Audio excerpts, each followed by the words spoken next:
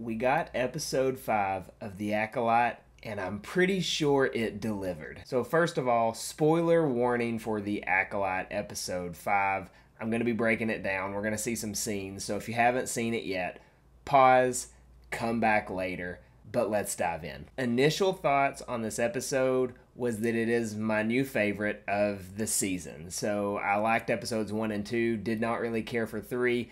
I thought episode four was really good, but episode five is by far my favorite. We finally have lightsaber action. I mean, I feel like we've been waiting to actually see a lightsaber duel, and man, this episode was full of it. I read an article that my friend had sent me a couple weeks ago that they had worked on improving the actual lightsaber props they were using, and I think that they actually did, and it made a difference. It just seemed a little bit better than the lightsaber action that I think we've seen in Ahsoka and the sequel trilogy. It didn't seem as heavy handed to me action was a lot faster. It was closer to the prequels. Now, it was not Hayden and Ewan or Qui Gon and Obi Wan versus Darth Maul, but it was closer and I appreciate that. But that's just my initial thoughts. Let's actually hop in and break this episode down. As we knew from what the director of episode 4 said, episode 5 did pick right up where we left off. So we have Osha waking up in the woods or the forest, and the episode is called Night. So it is just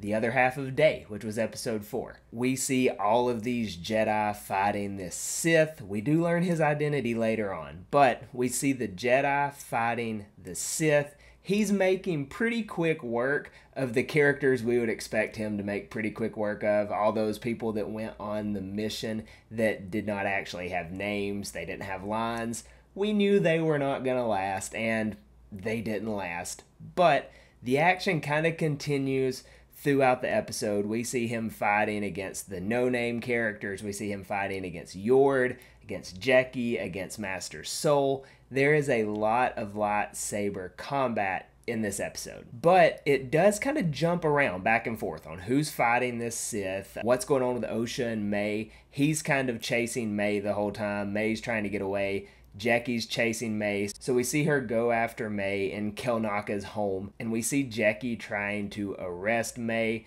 And she essentially succeeds. She has a little bit of a fight leading up to that, but she does succeed. She gets May in the cuffs, trying to get her arrested, but then, you know, the combat keeps going. So the Sith is fighting Sol, but he gets away from Sol. Now, Sol's fights with the Sith, I think, are pretty good. They're kind of broken up here and there but it was good combat. I was a fan. I thought the imagery looked great. The blue and the red saber in the forest felt like Star Wars. I thought the choreography was great. Uh, we see the fighting going like with lightsaber, without lightsaber. So I thought it was a good, maybe a good balance between maybe the martial arts that they've been adding to this season, but also the lightsaber combat that all Star Wars fans want. But we have Yord trying to get Osha back to the ship. We have Jecki fighting the Sith. We have Sol fighting the Sith. Eventually, Osha makes her way back with Yord, so Yord's fighting the Sith again. Just a lot of fighting, and long story short, the Sith does end up taking out Jecki but she does put up a good fight. She's got both of her sabers fighting him. I thought that was a great scene. She fights him in two different locations, I believe. So she's doing dual sabers. When one saber goes out, she has another. She puts up a good fight, but ultimately, he does get her after she takes his mask off, and we see that it's Qimir. Now, I've been saying it's Qimir for a long time. A lot of people on the internet keep saying it's going to be a woman or it's going to be one of the witches. Well, I'm hoping they come back to eat their crow because they were wrong. It was Qimir the whole time.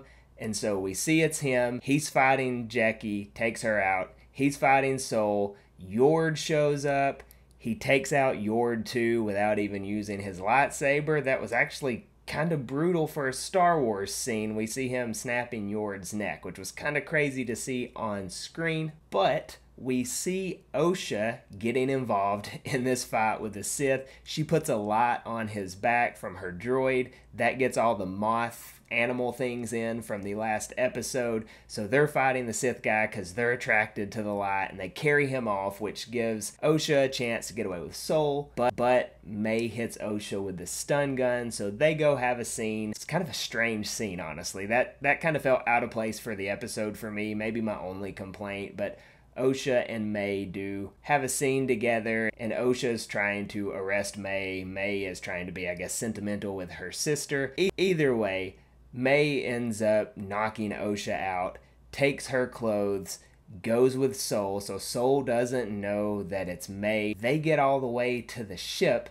He still doesn't know it's May, but I think Bazil does, the little weasel looking character. I, that may not be his name, not sure, but the little sniffer guy, he knows that it's May, I'm pretty sure, by what they put in the episode.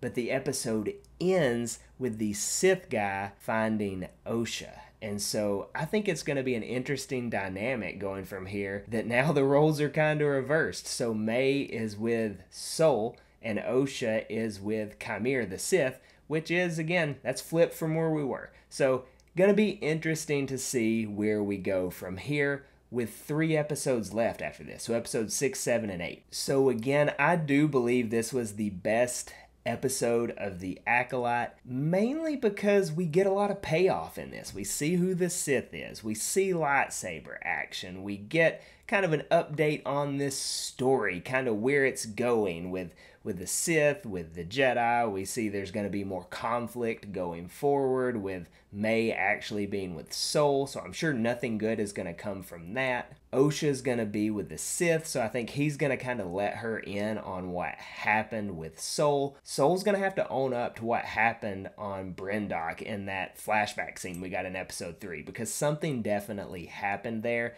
he's going to have to own up to that. But I think the Sith is going to be the one that tells Osha what happened. So, again, be very interesting to see where this goes. If I were grading this episode out of 10, I would probably give it an 8, 8.5 out of 10. It was it was pretty good. By far the best episode of The Acolyte so far. So let me know what you thought about this episode in the comments, and I'll catch you next time.